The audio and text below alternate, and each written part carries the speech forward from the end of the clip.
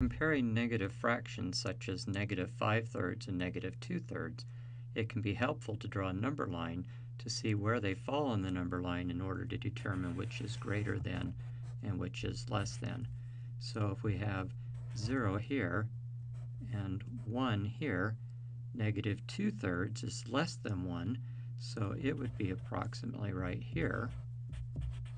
And negative 5 thirds is greater than 1, so it would be to the left of negative 1, negative 1. So we would have negative 5 thirds is to the left of negative 2 thirds. And numbers that are to the left on number line are less than. Therefore, negative 5 thirds is less than negative 2 thirds. Our other two fractions, negative 1 half and negative 3 fourths, Negative 1 half has a denominator of 2, negative 3 fourths has a denominator of 4. We need to have a common denominator to make it easiest, easier for us to compare them. So since 2 goes into 4, we'll leave the negative 3 fourths, and we'll write another equivalent fraction of negative 1 half with a denominator of 4.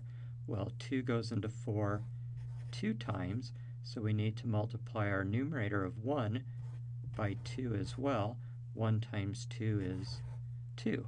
So we have negative 2 fourths. Is that less than or greater than negative 3 fourths? And as you can see from our last problem, negative 5 thirds was to the left of negative 2 thirds, so negative 3 fourths would be to the left of negative 2 fourths.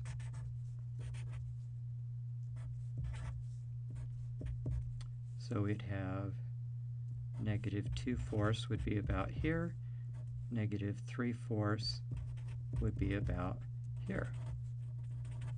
Therefore, we see that negative 2 fourths is to the right on the number line, so negative 2 fourths, or as we had, negative 1 half, is greater than negative 3 fourths.